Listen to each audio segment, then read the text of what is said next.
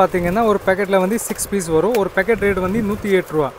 ஒரு பீஸ் வந்து எயிட்டீன் ருபீஸ்லேருந்து ஸ்டார்டிங் இருக்கு. சூப்பர் ஓகே ஆன்லி பெல்ட் வந்து எயிட்டீன் ருபீஸ்லேருந்து ஸ்டார்டிங் இருக்கு. ஓகே